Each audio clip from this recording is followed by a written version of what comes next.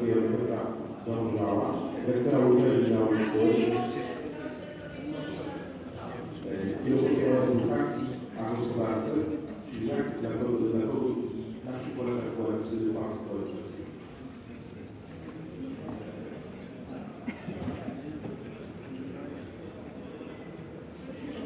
Dzień dobry Państwu, dziękuję organizatorom za zaproszenie i za tak liczne przybycie, bo już teraz mam wrażenie, że jest nas mniej.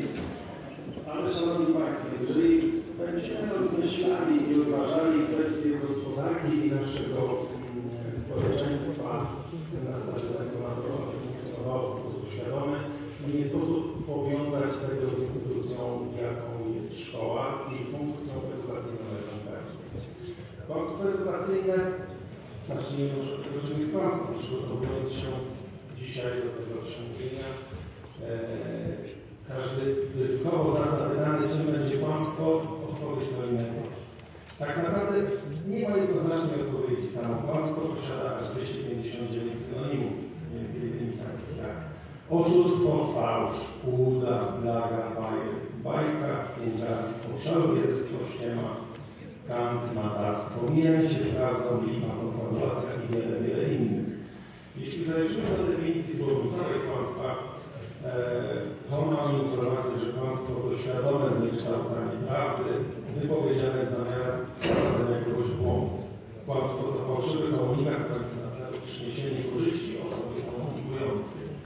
Jak zestawić teraz to kłamstwo z kłamstwem edukacyjnym? Zastanówmy się, proszę Państwa, jakie mamy oczekiwania względem szkoły, jaką funkcję szkoła pełni. Szkoła przede wszystkim pełni funkcję wychowawczą, jak i oświatową.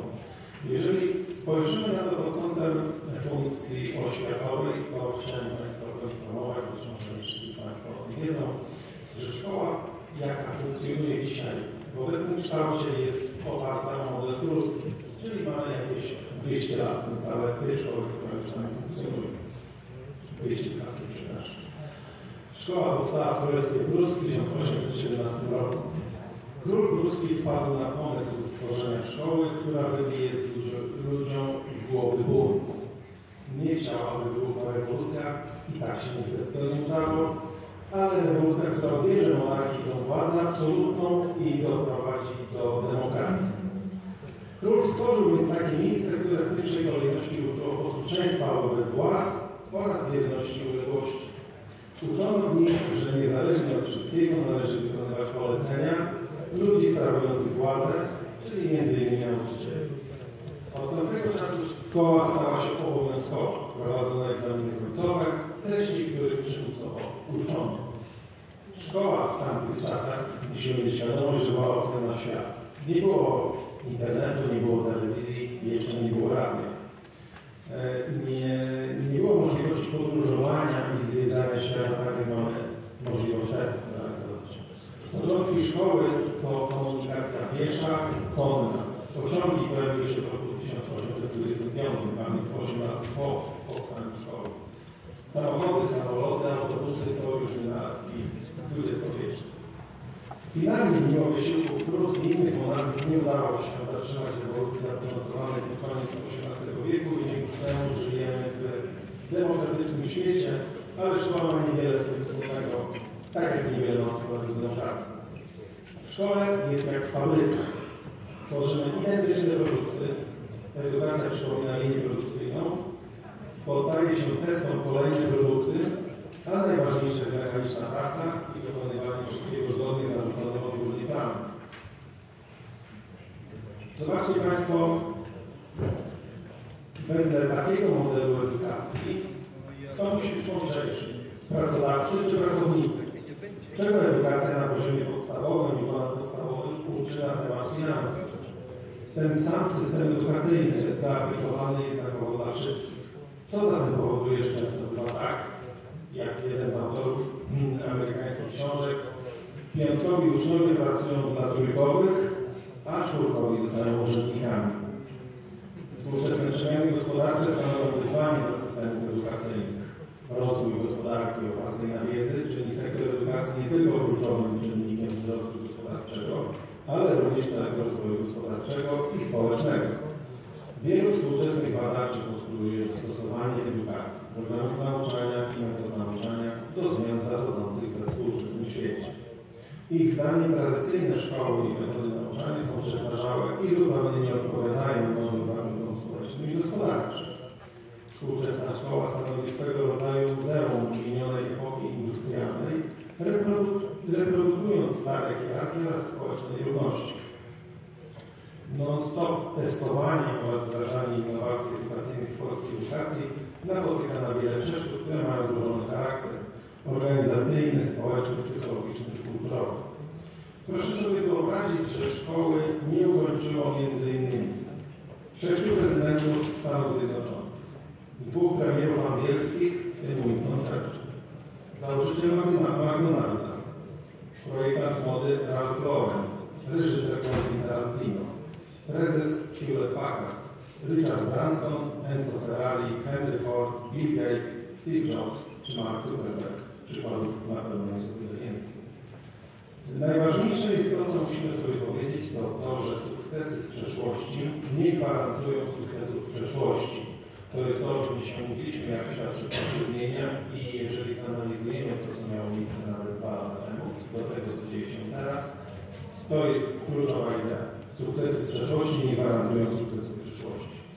Jak to jest, że uczeń trójkowy wygrywa później w życiu prawdziwym z uczniem piątkowym? No dlatego, że uczy się zupełnie czegoś innego niż uczeń piątkowy. Więc Szanowni Państwo, kłamstwo edukacyjne w zestawieniu informacyjnym może być podsumowane tym, że pokutuje w nas przekonanie, żeby dziecko chodziło do szkoły, dobrze się uczyło, było karne, posłuszne i żeby miało jak najlepsze oceny. Tylko rzeczywiście proszę zobaczyć, co dostajemy później w zamian. Czy szkoła nie jest miejscem, gdzie jest swego rodzaju e, mechanizm do zabijania właśnie tej kreatywności. Każdy z Państwa, kto ma może na pewno wiele na ten temat powiedzieć. Ale żeby postarać się znaleźć jakiś mm, złoty środek, który pozwoli nam na to, aby tej sytuacji zapobiegać, niestety jest to już tak skomplikowana machina jak ustrój szkolny czy ustrój edukacyjny, że już było wielu reformatorów, natomiast na tym etapie nie do końca się to. Możemy z e, utęsknieniem czy rozrzewnieniem patrzeć na inne modele edukacji, które są mm, za granicą. No, najpopularniejszym teraz wśród zachwycających się nauczycieli alternatywnymi metodami wychowania będą modele norweskie. Niemniej jednak, proszę Państwa, musimy mieć świadomość tego, że gospodarka oparta na osobach, które zdobywają wykształcenie w naszym ustroju, no, będzie raczej skazana które są kreatywne i które niekoniecznie mają dobre wyniki w szkole. Bo powiedzmy też sobie mm, e, na taki temat, jeżeli mówimy o sektorze niepublicznym, sam wywodzę się już od 20 lat z sektora niepublicznego w zakresie szkolnictwa wyższego, autonomia uczelni tak naprawdę nie istnieje. To są piękne zwroty zawarte w ustawie prawo szkolnictwie wyższym, natomiast finalnie ten produkt, czy jest to kierunek A, B, C czy D, realizowany w każdej z innych uczelni tak naprawdę wygląda z grubsza tak samo. Mamy odgórnie narzucony program studiów, mamy odgórnie efekty kształcenia, więc jedyne co może zrobić uczelnia, to swoją kreatywność wykazać w obszarze kadry osób, które zajęcia prowadzą.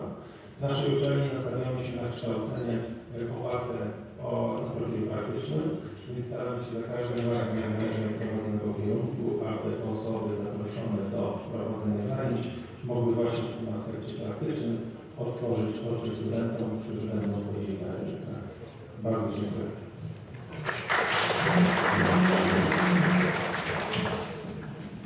Dziękuję pięknie.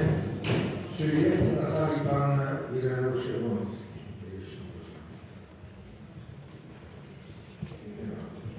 Poprosimy o zabranie głosu pana profesora Jacka Nowaka.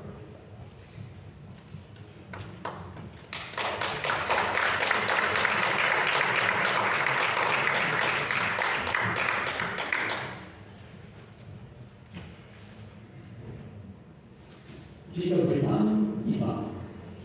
Proszę Państwa, deklaracja, którą, dzisiaj przedstawię, dotyczy miliona trzystu tysięcy rodzin, którzy, które, aby się utrzymać, muszą wytwarzać produkty i sprzedawać je na rynku, a nigdy nie zostały nazwane, czyli działają jak przedsiębiorcy, nigdy nie są nazywane przedsiębiorcami czy przedsiębiorstwami.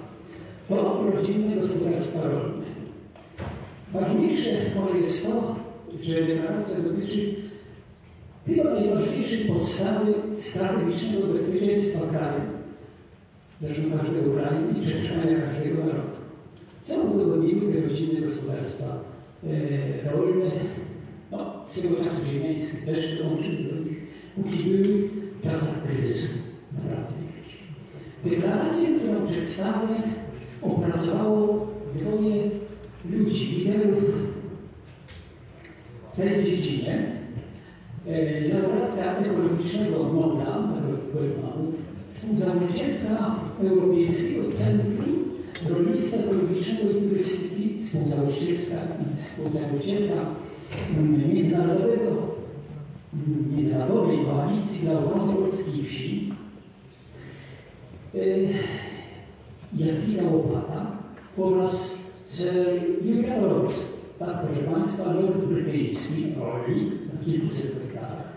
Swego czasu doradca do spraw rolniczych, następcy tronu księcia Karola, obecnego króla, ekspert BBC, pisarz, wizjoner, jego trzy książki, ostatnie to, proszę Państwa, Zmieniając kurs na życie, lokalne rozwiązania globalnych problemów, druga książka w obronie życia trzecia pokonać bezrobota, zachować człowieczeństwo. I setek artykułów na stronie www.renesans21.pl na bardzo aktualne tematy. Oto także yy, ja jestem tu nieistotny, ponieważ przedstawiam ich autorstwa deklaracje której zęby zostały utworzone jeszcze podczas, czy przed oczywiście ogólnopolską konferencją w Belwederze w 2017 roku pod patronatem pana prezydenta e, Rzeczypospolitej Polskiej. Oto deklaracja na rzecz rolnictwa i żywności XXI wieku. E, o tytule Rolnictwo dla ludzi i z ludźmi. Motto uwolnić żywność z uścisku globalnych korporacji. Globalna gospodarka żywnościowa zarządzana i kształtowana przez państwa i korporacje zaowocowała zniszczeniem i wyzyskiem w niespotykanych rozmiarach w każdym aspekcie rolnictwa. Poczynając od gleby, poprzez nasiona, rośliny, zwierzęta, a kończąc na człowieku.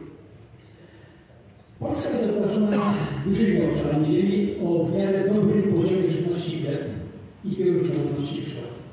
W Polsce jest jeszcze ponad milion małych i średnich rodzinnych gospodarstw rolnych. To ogromny potencjał uruchomienia jako podstawa wzmocnienia lokalnej ekonomii, zachowania zdrowia mieszkańców i wolności. Wszystko to zostanie zniszczone, jeśli globalny rynek pozostanie głównym celem polskiej produkcji rolnej i wizja czwartej rewolucji przemysłowej i zielonego ładu światowego forum, światowego forum ekonomicznego zostanie zaakceptowana przez polskich prezydentów. Nasze dobre zdrowie psychiczne, fizyczne i duchowe oraz wolność zależą od przejęcia przez nas kontroli nad łańcuchem pokarmowym. Tymczasem centralny system sterowania w postaci Światowego Forum Ekonomicznego planuje Zielony Ład i Wielki Reset, co oznacza koniec tradycyjnych gospodarstw rodzinnych i cyfryzację, robotyzację rolnictwa. Żywność ma się stać całkowicie syntetyczna, a jej wytwarzanie oparte na nauce w cudzysłowie i laboratoryjnej produkcji. Towarzyszyć temu przymusowe przeczytanie mieszkańców wsi do miast, funkcjonujących jako inteligentne miasta 5G, kontrolowane przez internet rzeczy. To nie jest futurystyczne marzenie, to rzeczywistość, która już się dzieje i może zostać powstrzymana jedynie przez silny opór społeczny. Aby przeciwstawić się tym ambicjom zwolenników nowego porządku świata, konieczne jest całkowite uwolnienie rolnictwa od korporacji i przywrócenie go do korzeni, zapewnienia lokalnej samowystarczalności i narodowego bezpieczeństwa żywnościowego, wyżywienie wszystkich obywateli ogólnie dostępną żywnością dobrej jakości, bez szkodzenia naturalnemu środowisku. Konieczne jest całkowite odejście od modelu, w którym państwo i korporacje kontrolują łańcuch żywieniowy. Nie ma tu miejsca na żaden kompromis. Utrzymanie i odzyskanie przez rolników i konsumentów autentycznej niezależności jest podstawowym warunkiem naszego przeżycia jako czujących i zdrowych istot ludzkich. Niech idea bezpośrednio od rolnika stanie się codziennością każdego konsumenta. Doprowadzi to do ponownego zbliżenia pomiędzy producentem i konsumentem żywności przy jednoczesnym uwolnieniu się od korporacji, które czerpią zyski z oddzielenia tych dwóch grup. To jedyna droga do tego, abyśmy byli wolni i mieli zapewniony autentyczny dostęp do możliwie najlepszej żywności. Yy, przypominacie sobie Państwo, gdzie można kupić? Są jakieś bazary jeszcze? Jakieś się uchowają. W jednym na tydzień w fabryce były jedna glina, no to a teraz ekskluzywną ekologiczną, ale znormalną dla tradycyjnych rolników. To jest chemii. Też bez chemii.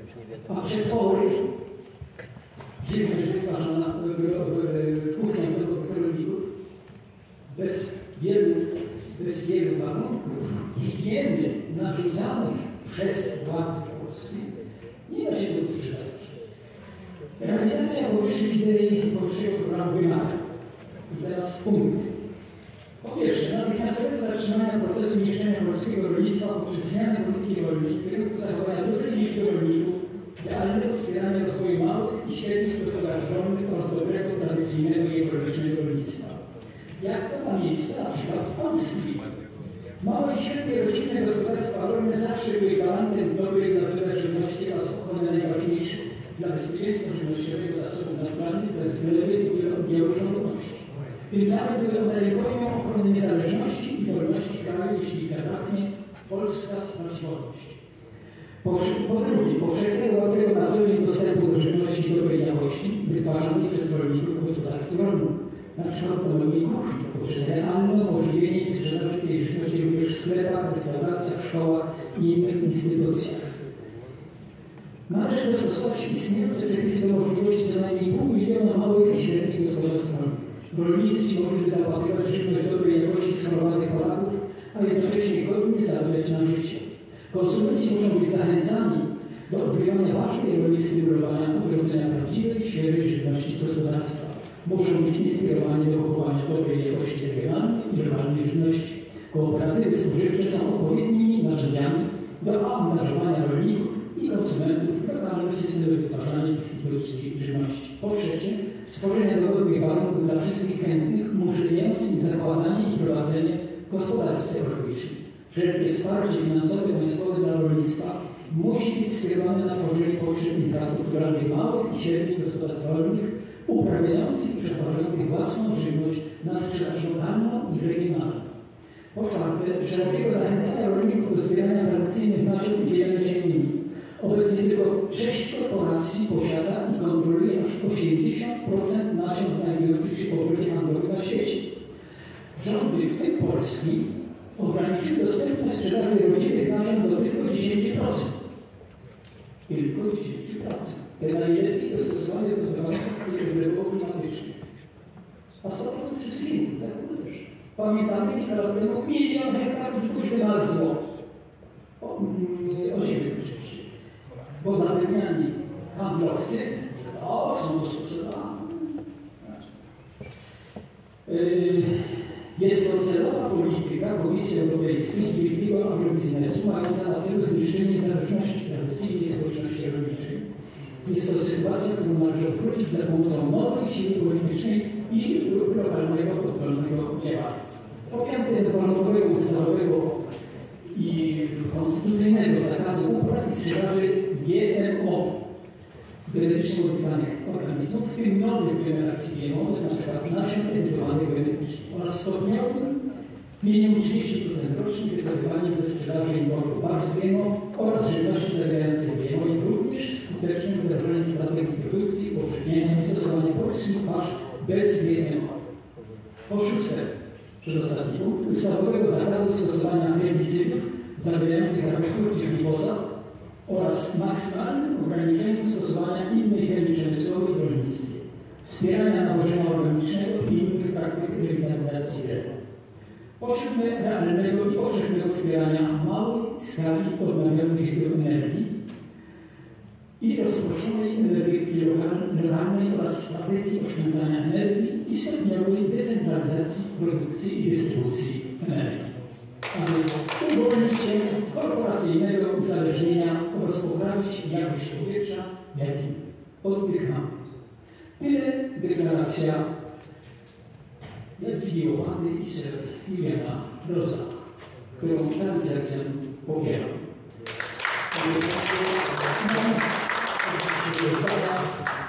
Zostałem organizatorem towarzystwa.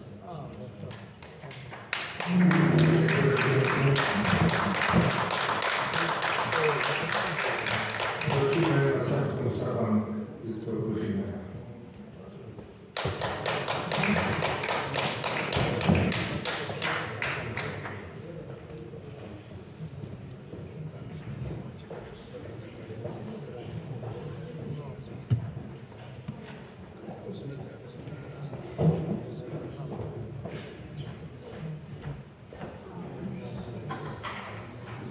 Szanowni Państwo, Krzysztof Tytko, reprezentuję Obywatelską Komitet Obrony Polskich Zasobów Narodowych.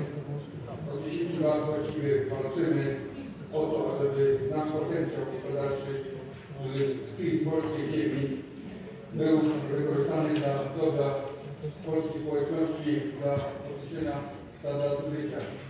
Proszę Państwa, Pan premier Morawiecki, obejmując władzę kilka e, lat temu, powiedział, że Polska jest, e, Polska jest e, najbiedniejszym krajem per capita, jeśli chodzi o majątek na przeciętnego obywatela, jak również, że e, przyrost gospodarczy jest najniższy.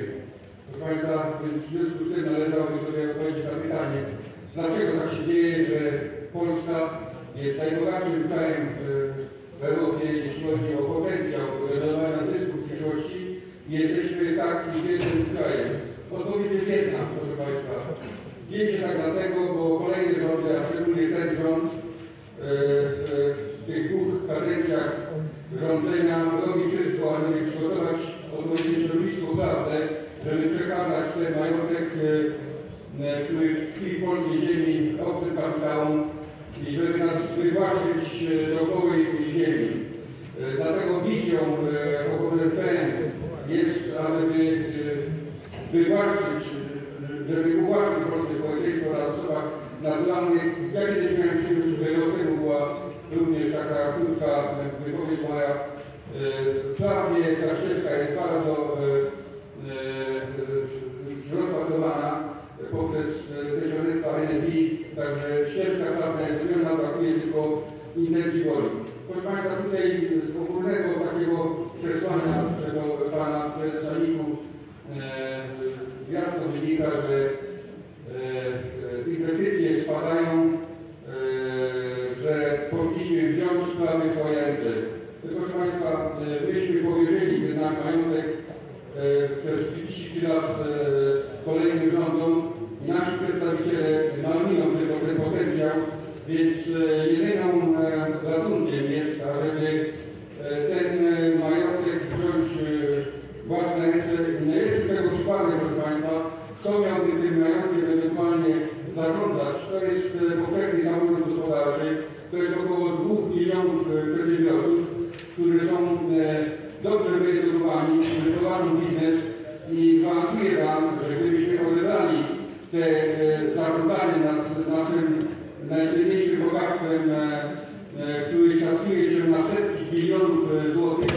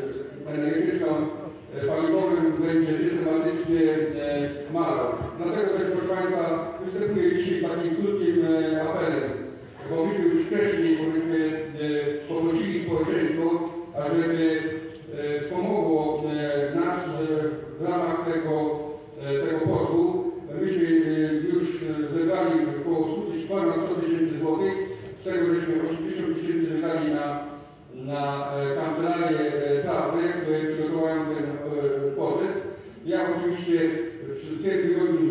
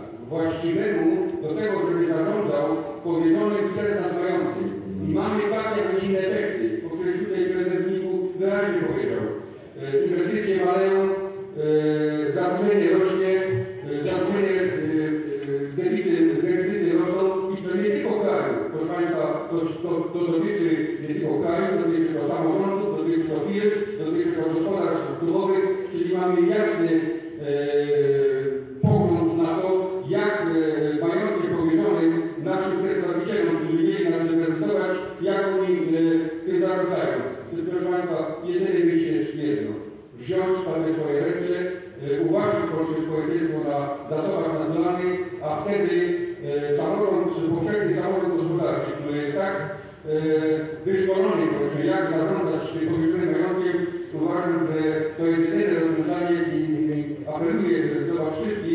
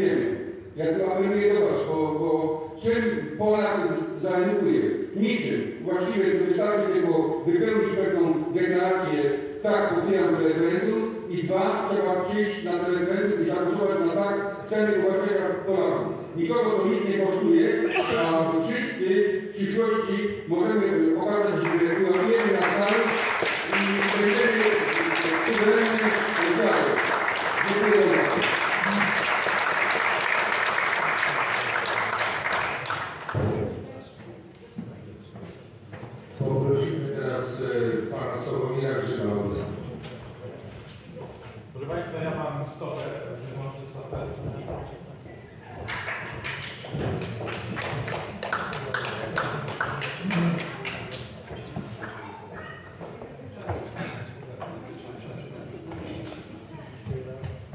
Dzień dobry Państwu, Sławomir Grzyb, sekretarz generalny Izby Gospodarczej Gastronomii Polskiej, e, inicjator i założyciel Izby Gospodarczej Gastronomii Polskiej. Całe życie jestem przedsiębiorcą, małym, samodzielnym, kreuję nowe rozwiązania, ale w branży gastronomicznej. Okazało się niedawno, że jestem e, najstarszym blogerem gastronomicznym, bo założyłem portal gastronomiczny w 2000 roku, jak nikt nie słyszał jeszcze o Facebooku i Google'ach. To tak, żeby się przedstawić. Yy, Na przykładzie Izby Gaspo- Gastronomicznej, Izby Gospodarczej chcę Państwu podać przykład, gdzie leży nasz i Wasz problem. Bo wysłuchując tych wszystkich wypowiedzi, yy, zmieniłem całkowicie swoje wystąpienie, ale muszę właśnie nawiązać do tego, jak powstała i dlaczego powstała Izba Gospodarcza. Yy, Bo mamy wypracować program naprawczy Polski.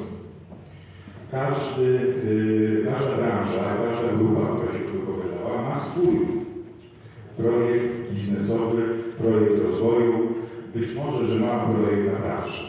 Y, Szerzej y, branża gastronomiczna y, nie jest znana obywatelom, nie wiedzieli nawet, jak ciężko było przez te 9 miesięcy, kiedy została zamknięta. Y, 76 tysięcy lokali zostało zamkniętych, zostało zamknięte, jak Państwo wiecie, hotele, sale fitness y, i tak tak. My żeśmy się skonsolidowali, my żeśmy y, powołali Izbę dopiero w drugim tygodniu lockdownu pierwszego, 20 marca 2000 roku, bo widzieliśmy, y, co się dzieje. No i musieliśmy się bronić, bo do tej pory takiej organizacji, która mogłaby występować y, przeciwko rządowi, przeciwko no, w ogóle y, w relacjach z rządem i samorządem. A Dzisiaj dodaje jeszcze z nierządem. Yy, I co się stało? Doszło do nie, yy, niespotykanej dotychczas skali naruszenia wolności, ale wolności obywatelskich. Tutaj głównie mówimy o, mówiliście Państwo, mówiły te osoby, które o wolności gospodarowania. Naruszono wolności obywatelskie. Szerzej, czyli nie tylko przedsiębiorcy zostali tutaj poszkodowani. Musimy mówić dużo szerzej, yy, ponieważ ponieważ musimy zaangażować te e, organizacje społeczne. Bo myśmy za- te organizacje społeczne zaangażowali do walki, do walki o sprawy gastronomii. Bo my jesteśmy taką partyzantką, małą partyzantką. Ja, Darek Grabowski mówił, y, jak bronić przedsiębiorców. Żeby bronić, trzeba mieć armię. My musimy powołać armię. Bo na razie występują partyzanci, i to tutaj tych partyzantów y, małych organizacji ja widzę bardzo wiele, które mają właśnie te, te swoje projekty, plany naprawcze y, i my musimy się zorganizować po to, żebyśmy się tutaj spotkali, po to, żeby przygotować ten kongres antykryzysowy. Y, Mieliśmy na sali, bo w tej chwili już chyba nie ma części ludzi, którzy, którzy z nami współpracowali. To byli głównie lekarze, bo od nich za- zacznę. Był z, nami pan Hałas, Zbigniew, bo myśmy musieli udowodnić, że gastronomia się zna na epidemii. Bo pani minister nas zapytała na spotkaniu, a co wy wiecie o epidemii. To musieliśmy y, współpracować z niezależnymi lekarzami, ze stowarzyszeniem, y, czyli organizacją społeczną, z niezależnymi y, nauczycielami, bo musieliśmy, że tak powiem, przeciwstawić się pseudonaukowcom, pseudolekarzom. Musieliśmy współpracować z prawnikami, musieliśmy przeciwstawić pseudoprawnikom. E, I te organizacje społeczne, y, taki kulminacyjny moment, jaki pamiętam, to przedsiębiorcy, czyli Izba Gospodarcza Gastronomii Polskiej w ramach współpracy zorganizowała na początku stycznia tego roku, tego roku, yy, chyba tego, nie, ubiegłego roku, to było jeszcze, kiedy covidowe chcieli wprowadzić. I ta, te demonstracje yy, tych organizacji razem z nami, również z, niektórymi politykami, powstrzymały wprowadzenie paszportów covidowych. Także tutaj yy, pan Robert Składowski mówił o tym, że o problemach 30-letnich małych i średnich przedsiębiorstw, że wali trochę po ścianę od 23 lat, jeśli chodzi o powszechny samorząd gospodarczy, te same problemy, problemy szkolnictwa itd. itd. Jeżeli my nie zaangażujemy organizacji społecznych, to e, biorąc pod uwagę ten e, przykład, który Robert Weźmiewski podał, tego samolotu. W samolocie leci biznes class, korporacje, które sterują tym pilotem.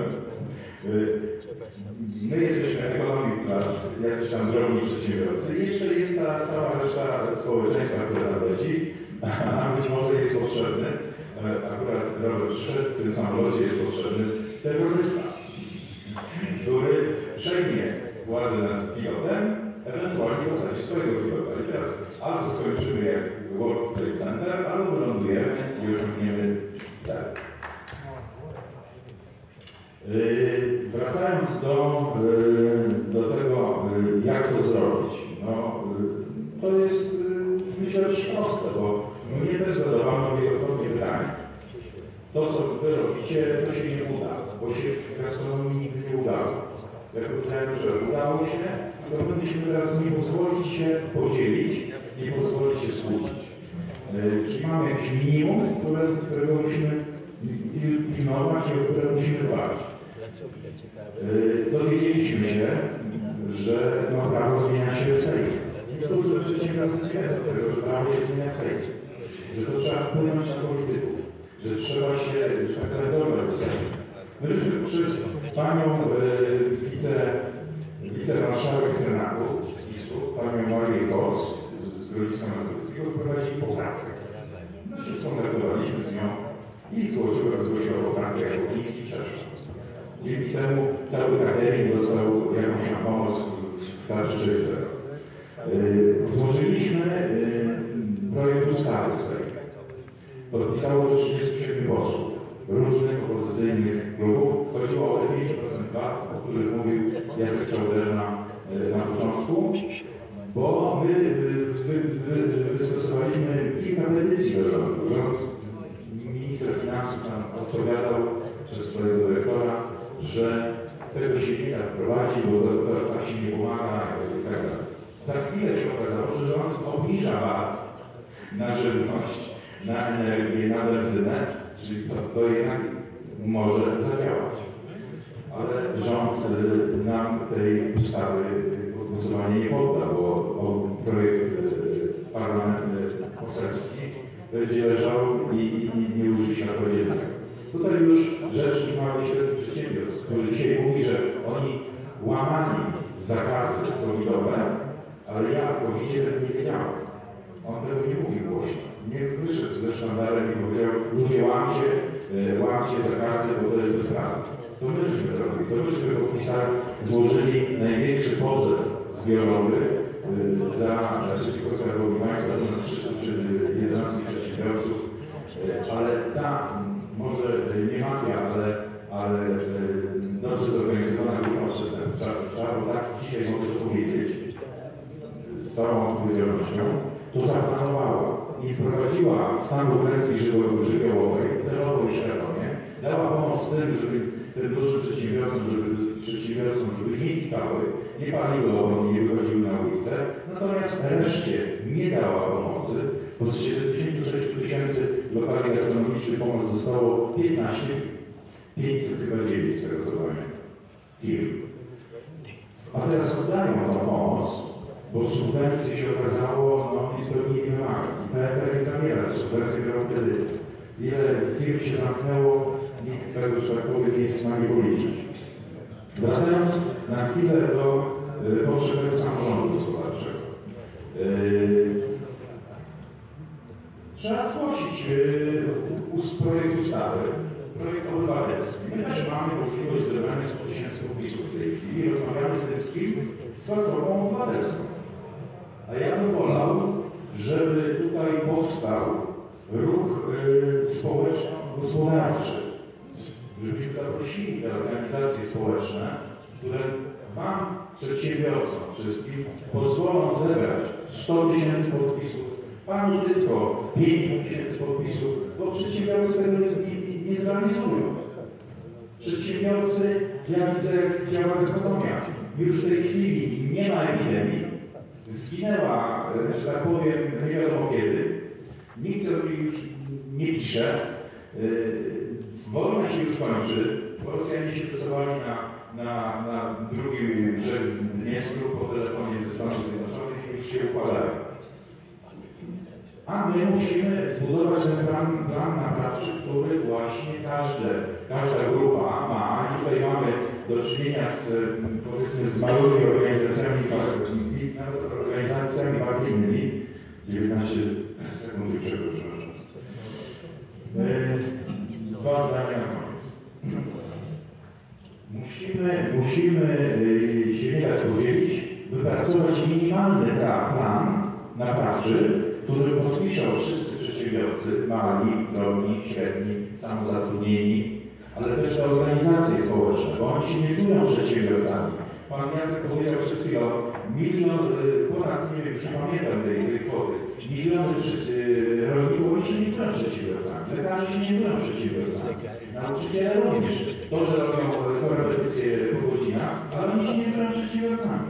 Tak samo y, prawnicy, oni też się nie czują przedsiębiorcami. Potraktujmy ich jako grupy społeczne i zaprośmy do współpracy, bo powszechny samorząd gospodarczy bez nich nie osiągnie nic, co powiedział pan Robert Składowski, bo potrzebne jest 100 tysięcy podpisów, żeby złożyć projekt obywatelski. Dziękuję bardzo.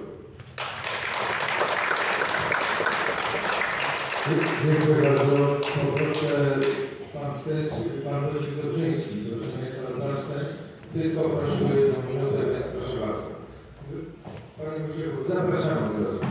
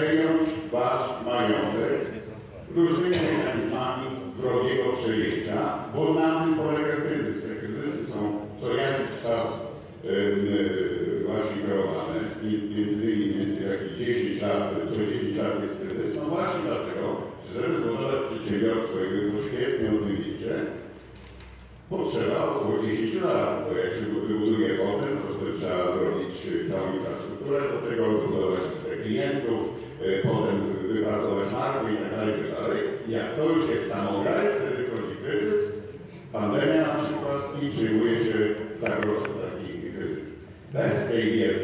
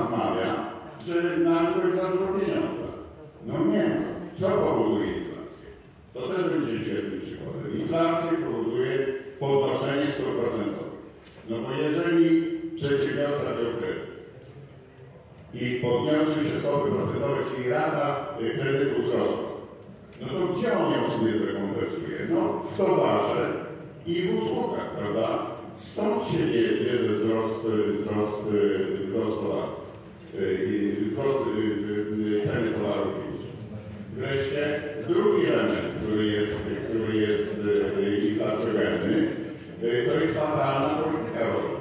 No dlaczego ten podstawowy pakiet produktów zaczął e, być taki drogi? No podłowanie e, ziemi przez związane z zapisami unijnymi, prawda? Wybicie trzody chlebnej, proszę minister rolnictwa, będzie to świetnie o tym, o tym opowiedział. I stąd są takie drogie ceny, masła, mięsa i tak dalej, podstawowych, podstawowych produktów. To jest prawdziwa, to jest prawdziwa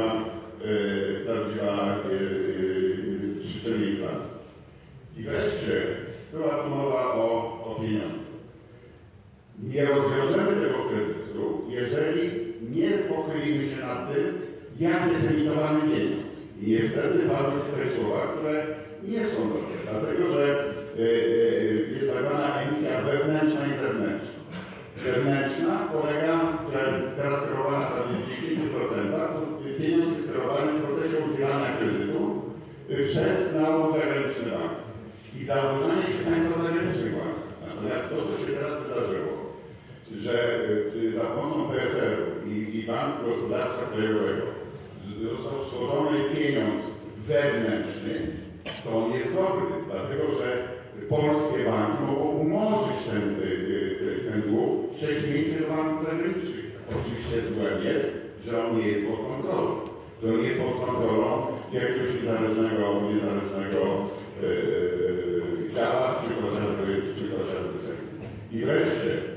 wydawaniu Twoich.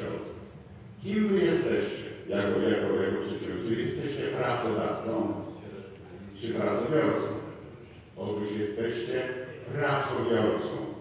A pracodawcą są Wasi pracownicy, którzy dają, świadczą Wam pracę. Ten bałagan pojęciowy również powoduje, że mamy z tym problem. I na sam koniec chcę Wam powiedzieć, y, bo zacząłem od tego y, y, podczas że on jest przeciwko nam, przeciwko przedsiębiorcom. W związku z tym, o, jeszcze świetny dowód chyba pani na slajdzie, że średnia wieku przedsiębiorcy to jest 56 lat. To 58. To oni już to wygrali, prawda? Jeżeli przedsiębiorca w Polsce ma 58 yy, e, e, lat, to znaczy, że młodzi się nie nie zakładają tutaj firm. To znaczy, że ta akcja, o której powiedziałem na samym początku, już się udała. I teraz wszystkie ręce na pokład, żeby odbudować klasę średnią, odbudować przedsiębiorców. Dobrze się tu zbieracie, powinniście dokładnie zdefiniować, że ta akcja jest przeciwko. Jeżeli ci jedności nie, powie, nie powiecie, że musi być budowana klasa średnia, bo inaczej zginiemy. Bo ci, którzy przejmują właśnie Polskę, przejmują nasze przedsiębiorstwa, to są te wielkie korporacje. Wy nie jesteście do niczego potrzebni. Nie jesteście do niczego potrzebni. Jesteście potrzebni Polsce i to jest polski interes narodowy i polska racja stanu. Od w takiej kategorii się o, o, o tym myślę. Dziękuję bardzo.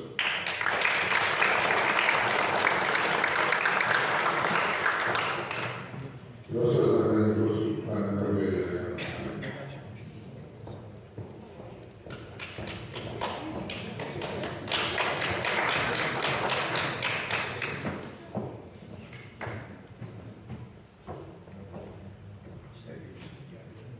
Wielce Szanowni Państwo, wyrażam wielkie uznanie i podziękowanie za to, co czynicie i czynić, jak tutaj rozumiem, konsekwentnie będziecie. A więc naprawę podejmujecie Rzeczypospolitej. A to można naprawić poprzez rozwój właśnie przedsiębiorczości, inicjatywy, która jest w rozmaity sposób niestety tłumiona. Mówił tu znakomicie nasz kolega. I jeszcze raz podziękowanie i uznanie. Jak ważne to jest, to przywoła bardzo krótko swoje doświadczenie. W 1987 roku utworzyłem Warszawskie Towarzystwo Gospodarcze. Jej członkiem był m.in. kolega Sadowski, Korwin-Mikke i wiele innych, wielu innych prawda, posłów, działaczy czy przedsiębiorców. Utworzyłem pierwszą izbę gospodarczą pod tytułem Unia Gospodarcza. Utworzyliśmy Bank Unii Gospodarczej. Utworzyliśmy Agrounię, przedsiębiorstwo do handlu i rozwoju dla rolników. Niestety z przykrością powiem, że większość tych inicjatyw została przejęta przez tak zwanych TBU, żeby nie dopuścić do rzeczywistej, prawda, polskiej przedsiębiorczości. Ale to już jest historia. Z, z wielce kolegą Dariuszem broniliśmy polskiej własności w Sejmie. Popatrzcie do góry, na to światło, na tę elektryczność. Czyja to jest firma? Niemiecka firma, firma RWE. Kategorycznie się sprzeciwiały sprzedaży energetyki, uznając, że trzeba być w żeby sprzedawać energetykę w stolicy państwa. Toż przecież to jest zbrodnia, nawet z punktu widzenia wojskowego i tak dalej. Jaką walkę toczyliśmy o polski cukier, czy jeszcze inne dobra, nie muszę tutaj mówić, tylko uświadamiam powagę sytuacji. Jeżeli wasz, nasz ruch, bo się z tym bardziej identyfikuje, nie zdobędzie prawdziwego przywództwa, w sensie stanowienia prawa, o którym tutaj mówiliśmy, i rozwoju, rozwoju jeszcze raz polskiej przedsiębiorczości, bo ona jest gwarancją czego? Suwerenności i dobrobytu. I za to jeszcze raz pięknie Państwu dziękuję. I na, I na zakończenie powiem jeszcze jedno. Widząc to, co się wokół nas dzieje, powołaliśmy taką inicjatywę pod tytułem Pokój i Dobro. Tak jest. Pokój i dobro. Jest to franciszkańskie zresztą pozdrowienie, które w tym miejscu kieruję do Państwa i zachęcam do udziału. Do udziału w naszym ruchu Pokój i dobro. Pokój i dobro zwycięży. Dziękuję.